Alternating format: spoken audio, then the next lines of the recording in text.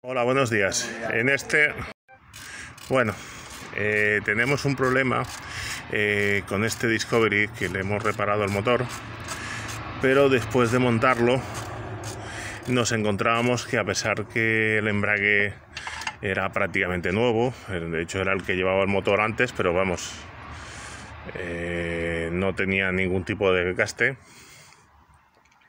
y todos los componentes del mismo, incluso la bomba y el bombín eran eh, prácticamente nuevos, el coche no embragaba.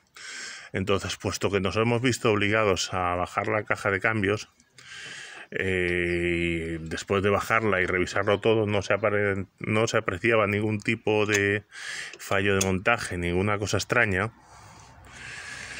Eh, la única forma que se nos ha ocurrido de poder probarlo y sin tener que volver a subir el cambio y sin arriesgarnos a montar y que no embragara ha sido esta.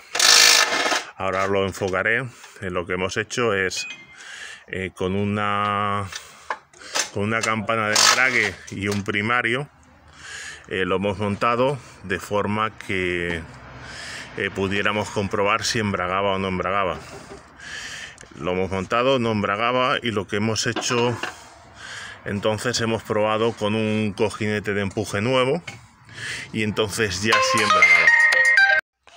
Buenas tardes de nuevo. Es que me faltaba un trocito de vídeo y no había tenido tiempo hasta ahora.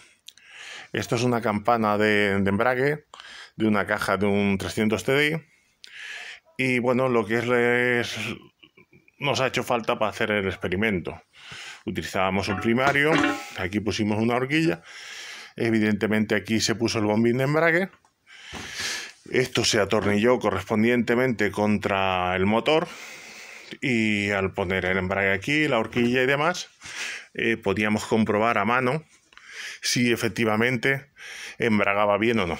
Porque claro, no nos queríamos arriesgar a hacer todo el trabajo que requiere eh, sacar y meter una caja de cambios hasta que supiéramos seguro de que funcionaba bien.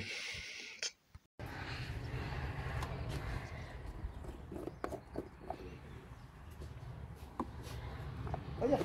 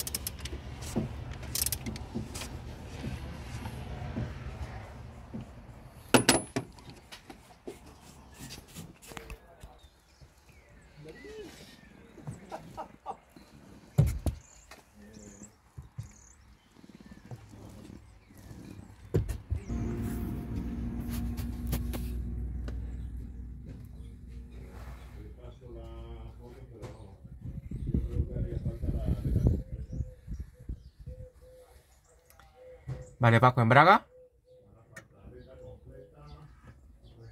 Suelta. Embraga otra vez. Embraga. Suelta.